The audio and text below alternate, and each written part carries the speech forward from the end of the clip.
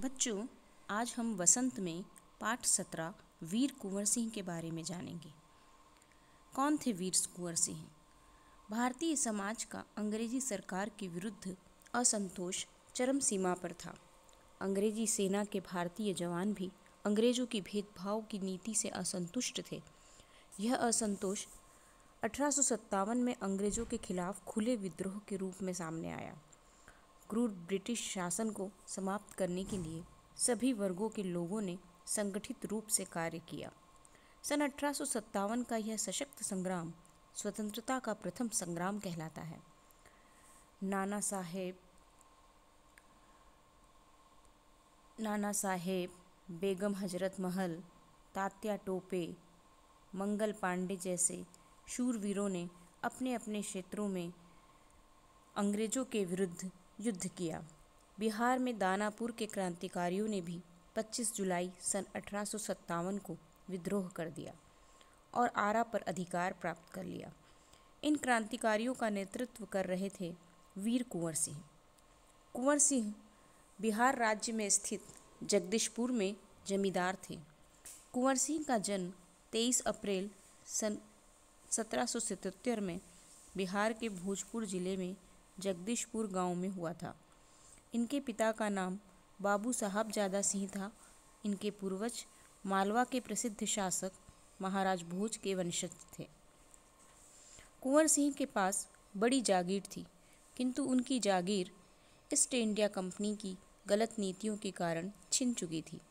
प्रथम स्वतंत्रता संग्राम के समय कुंवर सिंह की उम्र 80 वर्ष की थी। वृद्धावस्था में भी उनमें अपूर्व बल, साहस और पराक्रम था। उन्होंने देश को स्वतंत्र कराने के लिए दृढ़ संकल्प के साथ संघर्ष किया। अंग्रेज़ों की तुलना में कुंवर सिंह के पास साधन सीमित थे, परंतु वे निराश नहीं थे। उन्होंने क्रांतिकारियों को संगठित किया। अपने साधनों को ध्यान में रखते हुए उन्होंने छापामार युद्ध की नीति अपनाई और अंग्रेज़ों को बार बार हराया।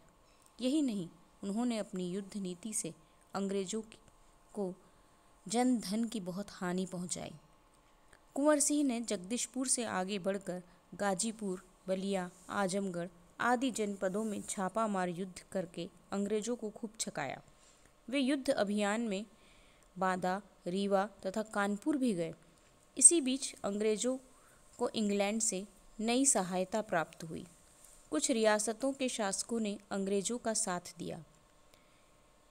एक साथ एक निश्चित तिथि को युद्ध आरंभ न होने से अंग्रेज़ों को विद्रोह के दमन का अवसर मिल गया।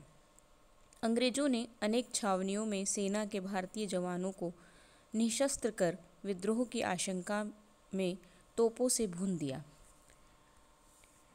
धीरे धीरे लखनऊ, झांसी, दिल्ली में भी विद्रोह का दमन कर दिया गया। वहाँ अंग्रेज़ों का पुनः अधिकार हो गया। ऐसी विषम परिस्थिति में भी कुंवर सिंह ने अदम्य शौर्य का परिचय देते हुए अंग्रेज़ी सेना से लोहा लिया। उन्हें अंग्रेज़, अंग्रेज़ों की सैन्य शक्ति का ज्ञान था।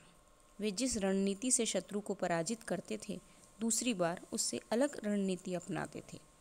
इससे शत्रु सेना कुंवर सिंह जी की रणनीति का पूरा अनुमान नहीं लगा पाती थी। आजमगढ़ से 25 मील दूर अतरोलिया के मैदान में अंग्रेज़ों से युद्ध जब जोरों पर था, तभी कुंवर सिंह की सेना सोची समझी रणनीति से पीछे हटती चली गई। अंग्रेज़ों ने इसे अपनी विजय समझकर खुशियाँ मनाई। अंग्रेज़ों की थकी सेना आम के बगीचे में ठहर कर भोजन करने लगी।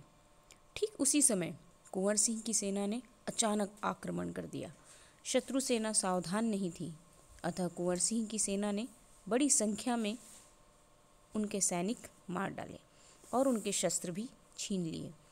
अंग्रेज़ सैनिक जान बचाकर भाग खड़े हुए। यह कुंवर सिंह की योजनाबद्ध रणनीति का परिणाम था।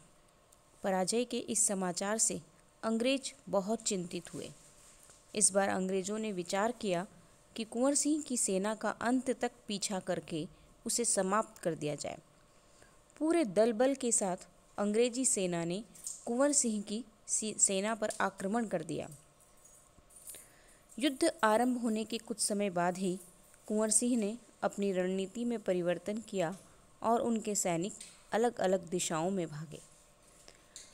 उनकी इस योजना को अंग्रेज़ सैनिक समझ नहीं पाए और वो भी कई दलों में बटकर कुंवर सिंह की सेना का पीछा करने लगे। कुंवर सिंह की इस रणनीति का प्रयोग अब अंग्रेज़ भी करने लगे थे।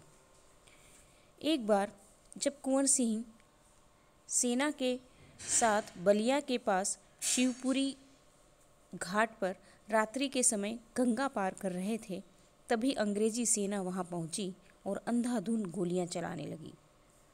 अचानक एक गोली कुंवर सिंह की बाह में लगी। गोली बाह में लगने पर उन्हें जहर फैलने का डर था। उन्होंने उसी वक्त अपना हाथ काट कर गंगा में फेंक दिया और अपने गाँव जगदीशपुर पहुँच गए। बहुत अधिक रक्तस्राव के कारण, बहुत घाव गहरा होने के कारण 26 अप्रैल अठारह को उनका निधन हो गया। तो उस बूढ़े राजपूत ने ब्रिटिश सत्ता के साथ बड़ी बहादुरी और आन के साथ लड़ाई की और 26 अप्रैल अठारह सौ अट्ठावन को एक विजेता के रूप में मृत्यु का वर्ण किया।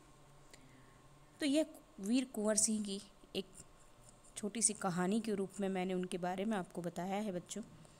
आप ध्यान से इसे सुने और हम फिर लेसन को जब भी हम पाठ को पढ़ें तो आप वीर कुंवर सिंह के बारे में बहुत सारी जानकारी आपके पास हो।